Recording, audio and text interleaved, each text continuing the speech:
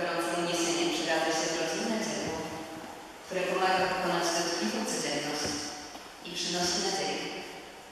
Falalam, falalera. A pasterz wypasa swoje owieczki.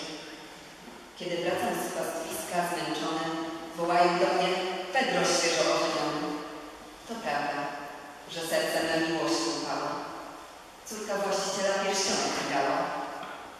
Hen, tam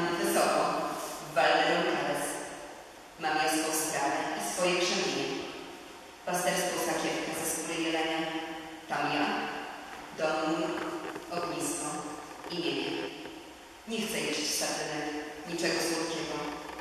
Post już nadchodzi, a ja sprawy nie tykam. Choćbym co